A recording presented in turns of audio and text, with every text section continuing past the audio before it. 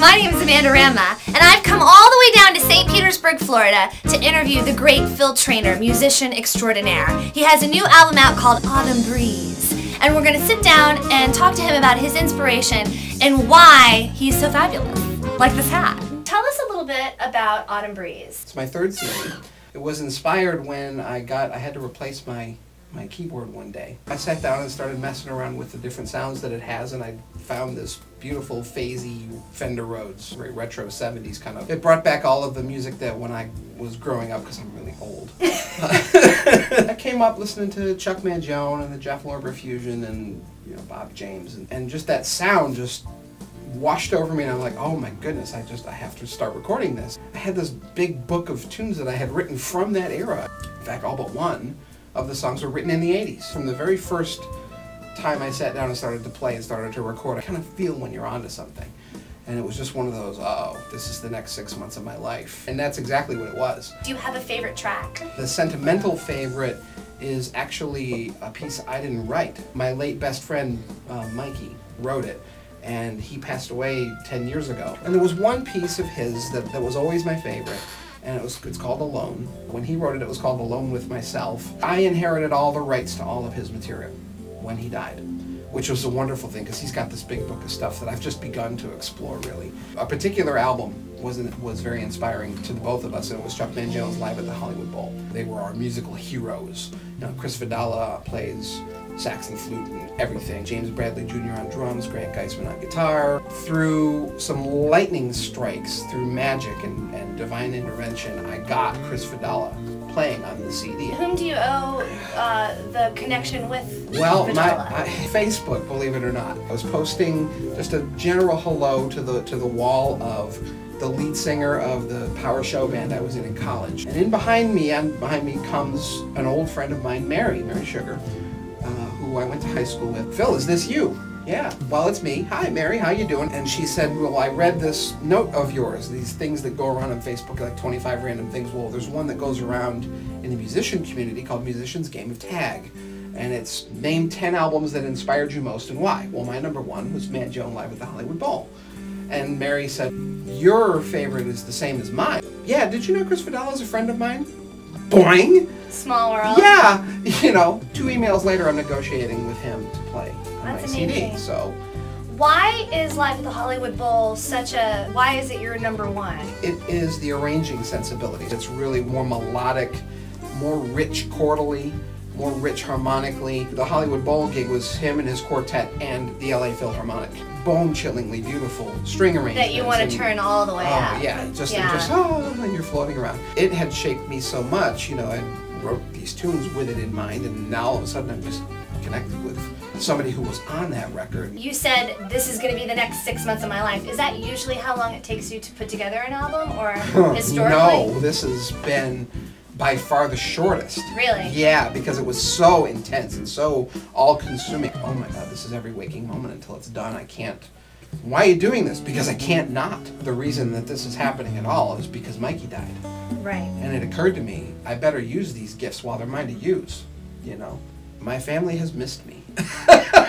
when the muse visits, you listen. You stop, you listen to her when she's here. I have lost some of the greatest material I've ever written because she came to visit at 3.30 in the morning and I didn't get out of bed and put it down. Tell me about your process. Well, it's different every time. I don't write a tune and then take it to my band to play. Right. I'm playing everything. I write backwards. Most people, they get a melody in their head. And then they harmonize that melody. Well, I don't really think that way because my primary instruments are drums and bass. I'm the guy who backs up the other guys. The things that come to me first are rhythm patterns, chord progressions, harmonization. I kind of actually do most of the arrangement in my head first before it ever hits, you know, any sort of written or recorded form. And then I got to fight with a melody.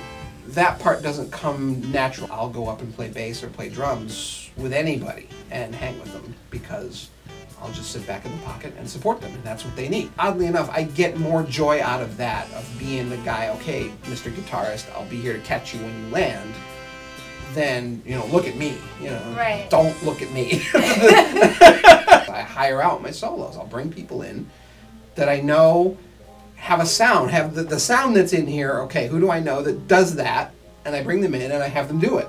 And it's an eclectic mix of people. Chris Vadala, and I've also got um, Pete Huttlinger. He was John Denver's guitarist from 1994 till Wow. till John Denver died.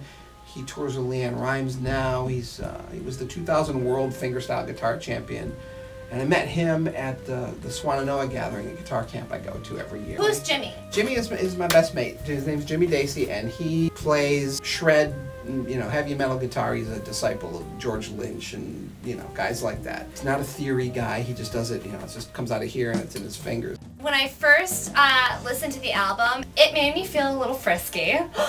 It is Oh, a good, very sexy CD. It's I got that like, hey, what's going on? People say describe it in one sentence. I and I say to them, it's get in the jacuzzi with somebody really cute. Music, love and sex are connected, and it's passionate. You know, it's love. The cover work of Autumn Breeze is, Oh. is gorgeous. And it's a story in itself. So Bonnie and I are casting around looking for anything. So she finds on Google, we're just kind of searching colors and searching the word autumn. And there was this little image. Whoa, look! And I'm like, God, this is amazing. It's perfect. So I go in and I find out what it is, and it's this piece of art. It is an artist in Glasgow, Scotland, of all places, named Matt Reed. Let's ask him. What's the worst he can do is say no, right? Anyway, end of August is when I'm slated to go to work with Chris Vadala. I fly up to Baltimore to do that.